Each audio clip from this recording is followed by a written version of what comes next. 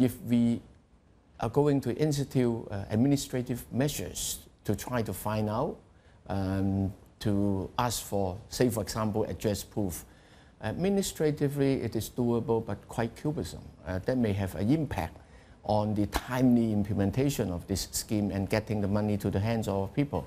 So uh, that's why uh, this time around, uh, initially our thinking is that let's don't make such a distinction and encourage these people to come back to visit their friends and to spend their money there.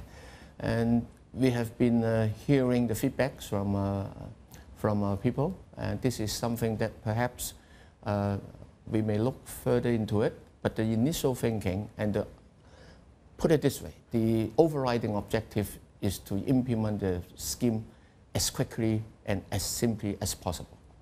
Any estimates on how much this can spur the economy? Can you quantify it for us? About, about 1%, uh, this cash handout scheme.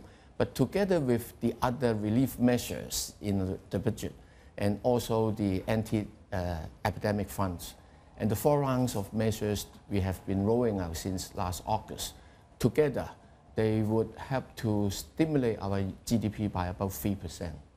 Now, you mentioned all the uh, relief packages as well as the mm-hmm. stimulus. Mm -hmm. uh, the government has announced $30 billion last year uh, in four rounds. Earlier this month, another 30 billion Hong Kong dollars yes. in anti-epidemic fund. Mm. And then this week, 120 billion Hong Kong dollars. Mm. You've already forecast six consecutive budget deficits. Um, how is the government placed if this virus outbreak does not get control and further aid is needed?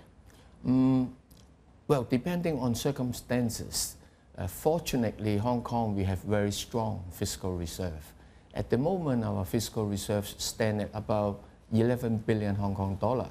Although the coming financial year, we are going to have a huge uh, deficit, but mostly because of the cash handout scheme and the one-off relief measures, which is one time and mm, do not have long-term financial implications.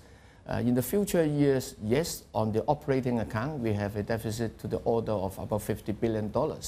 But on a consolidated basis, uh, the deficit would be around 70 billion to about 8 billion.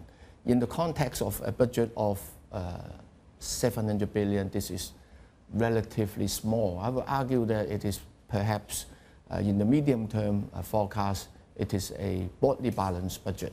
And it is up to us in these difficult circumstances to try to revive the economy as early, uh, as quickly as possible. Hi, I'm Emily Tan, and thanks for watching CNBC. You can check out more of our videos by clicking on the boxes on the screen, and don't forget to subscribe to the channel for more. Thanks for watching.